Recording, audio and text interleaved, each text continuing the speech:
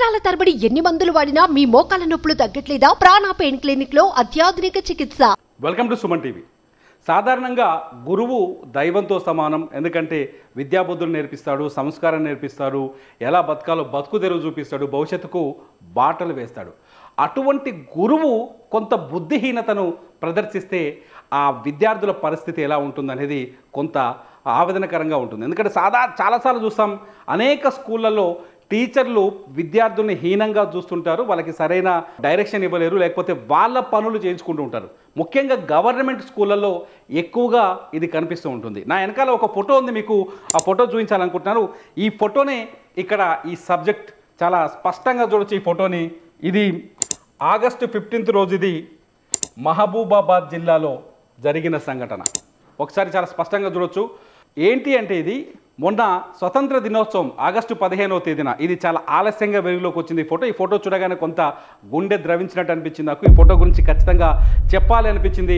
ఏం జరిగింది అనేది తెలుసుకోవాలనిపించింది. ఇది మహబూబాబాద్ జిల్లా కొత్తగా ఏర్పాటు చేసిన మహబూబాబాద్ జిల్లా జమాన్లపల్లిలో ఉన్న ఎస్సీ గురుకుల హాస్టల్ దగ్గర జరిగిన సన్నివేశం. దీన్ని కొందరు వ్యక్తులు అక్కడ ఫోటో తీసి ఇంటర్నెట్లో పెట్టారు. అది ఇప్పుడు వైరల్గా మారుతూ ఇప్పుడు ఒక వార్తగా మారింది. ఏం జరిగింది ఇక్కడ అంటే సాధారణంగా మన స్కూల్లో టు ఫిఫ్టీన్త్ ఆగస్ట్ జరిగితే పిల్లల చేత ఆ పను ఈ పను చేస్తారు కానీ ఇక్కడ ఈ గురుకుల హాస్టల్కి సంబంధించిన ఒక టీచర్ ఈ విద్యార్థి చేత బట్టలన్నీ ఊడదీయించి ఓన్లీ కడ్రాయర్ మీద ఉన్నాడు చూడండి ఇక్కడ.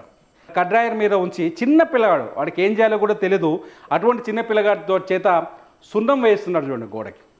ఫిఫ్టీన్త్ ఆగస్ట్ రోజు దానికి ఖచ్చితంగా గవర్నమెంట్ నిధులు ఇస్తుంది ఆ గవర్నమెంట్ నిధులు దాన్ని ఖర్చు పెట్టుకోవచ్చు కూలీలు పెట్టుకోవచ్చు కూలీలు పెట్టి సున్నం వేయించుకోవచ్చు వాళ్ళకి బిల్లు ఇవ్వచ్చు ఆ పని చేయొచ్చుగా. తీసుకొచ్చి పోరగాన్ని తీసుకొచ్చి గోడకు సున్నం వేస్తున్నారు చూడండి కదా. ఈ వీడియో చూడండి ఒకసారి. ఎంత బాధాకరణ విషయం అంటే ఇంకా అంటే భారతదేశానికి డెబ్బై ఎనిమిదవ స్వతంత్ర దినోత్సవ వేడుకలు జరుగుతున్న సమయంలో బాల్యం ఇంకా ఎక్కడుంది? పిల్లలు ఎంత దురవస్థను ఎదుర్కొంటున్నారు. ఇంకా హాస్టల్లో ఇప్పటికే గురుకుల హాస్టల్లో లేకపోతే సాంఘిక సంక్షేమ హాస్టల్లో ఫుడ్ సరిగా లేక ప్రతి ఏదో ఒక హాస్టల్లో ప్రతిరోజు ఏదో ఒక చోట పిల్లల ఆహారం ఫుడ్ పాయిజన్ అవుతూ అనారోగ్యం పాలవుతూ కొన్ని చోట్ల ప్రాణాలు కోల్పోతూ చాలా ఇబ్బందులు పడుతున్నారు. ఆ సమస్యలన్నింటినీ పరిష్కరించాల్సింది పోయి చూడండి పిల్లల్ని ఇక్కడ కూలీలుగా మార్చేసిన ఈ సంఘటన చూడండి. ఒక కూలీ చేయాల్సిన పనిని నాకు తెలిసి ఏ సిక్స్త్ క్లాసో సెవెంత్ క్లాస్ చదువుతున్న కుర్రాడు నాకు తెలిసి పది ఆరో తరగతి ఏడో తరగతి అవుతున్న కుర్రాడు ఆ కుర్రాడు చేత గోడకు సున్నం వేస్తున్నారు చూడండి. ఎంత దారుణమైన సంఘటన. ఈ ఫోటో చూసినప్పుడే దీని గురించి కొంత చెప్పాలి అనిపించింది. అందుకోసం నేను ఈ ఫోటోని తీసుకొచ్చాను. చాలా దారుణమైన ఈ ఈ సంఘటన ఖచ్చితంగా ప్రతి ఒక్కరూ ఖండించాల్సిన అవసరం ఉంది. విద్యార్థి సంఘాలు కావచ్చు లేకపోతే సామాజికవేత్తలు కావచ్చు విద్యావేత్తలు కావచ్చు హాస్టళ్ళలో కానీ స్కూళ్ళలో కానీ ఇటువంటి సంఘటనలు జరగకుండా పునరావృతం కాకుండా చూడాల్సిన అవసరం ఉంది. ప్రభుత్వం కూడా దీనిపైన వెంటనే స్పందించాల్సిన అవసరం ఉంది. ఒక బాలుణ్ణి వీడికి చదువు నేర్పిస్తున్నారా? ఇక్కడ సున్నమేట నేర్పిస్తున్నారా?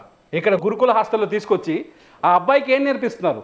మీరు చదువు నేర్పిస్తున్నారా? లేకపోతే గోడలకు సున్నాలు ఎలా వేయాలో నేర్పిస్తున్నారా? ఈ సీన్ చూస్తే మీకు చాలా స్పష్టంగా అర్థమవుతుంది. ఇక్కడ అబ్బాయికి గోడకి సున్నమేట నేర్పించినట్టుగా చాలా స్పష్టంగా అనిపిస్తుంది. అది కూడా బట్టలు వేసుకోకుండా చూడండి. ఓన్లీ అండర్వేర్ మీద కనిపిస్తున్నాడు.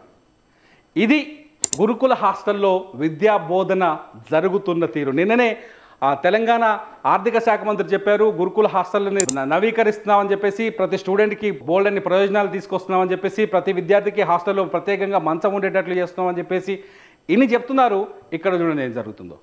సో గవర్నమెంట్ ఈ అంశంపైన వెంటనే స్పందించాలి. హాస్టళ్ళలో ఉన్న దురావస్థనే లేకపోతే విద్యార్థులకు ఒక మంచి భవిష్యత్తుని ఇవ్వాలి ఒక మంచి సూచన ఇవ్వాలి వాళ్ళకి మంచి మార్గనిర్దేశం ఇవ్వాలనే ఆలోచన లేని టీచర్లని అక్కడి నుంచి తొలగించడం చాలా బెటర్.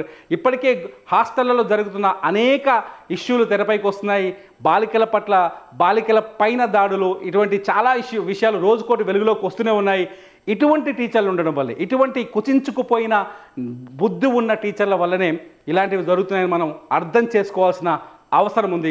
ఇది మహబూబాబాద్ జిల్లా జమాన్లపల్లి ఎస్సీ గురుకుల హాస్టల్లో జరిగిన సంఘటన. ఈ సంఘటన స్థానిక అధికారులు కానీ ప్రభుత్వం కానీ దీనిపైన చర్యలు తీసుకోవాల్సిన అవసరం అయితే స్పష్టంగా కనిపిస్తూనే ఉంది. మీ బిజినెస్ ఏదైనా మీ ఊర్లో ప్రమోషన్ చేయాలంటే అది సుమన్ టీవీతోనే సాధ్యం. ఇప్పుడే సంప్రదించండి.